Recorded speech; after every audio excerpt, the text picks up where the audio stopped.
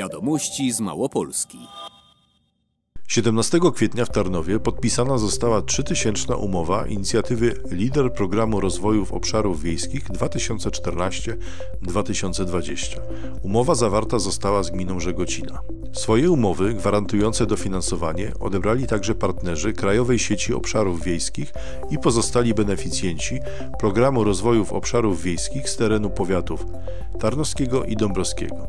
Łącznie umowy podpisało 11 podmiotów na kwotę niemal 830 tysięcy złotych. Jak zaznaczył wicemarszałek Józef Gawron, dofinansowania nie są duże, ale przeznaczone są na mniejsze projekty, jak na przykład wsparcie kół gospodyń wiejskich, wyjazdy studyjne, organizację konkursów czy szkolenia.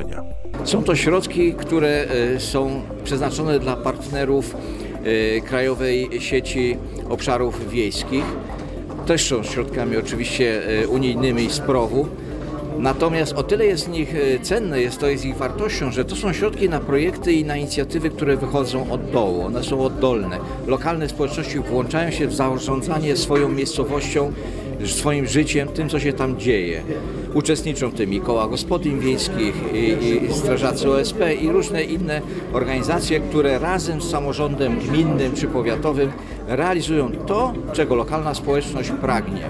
Wsparcie dla fundacji czy stowarzyszeń ma o tyle znaczenie, że bardzo często są to dla nich jedyne środki, które mają na działalność statutową, mówi Wojciech Skruch, wiceprzewodniczący Sejmiku Województwa Małopolskiego. Wiemy doskonale, że ta działalność musi się opierać na e, systemie grantowym. Czy to jest system grantowy w ramach, jak mówimy w tym przypadku, Programu Rozwoju Obszarów Wiejskich, szeroko rozumiejąc e, to pojęcie, czy są to środki krajowe, to w każdym przypadku są to środki, które są niezbędne dla, tych, dla tychże instytucji. To już siódmy konkurs dla partnerów Krajowej Sieci Obszarów Wiejskich i Programu Rozwoju Obszarów Wiejskich na lata 2014-2020.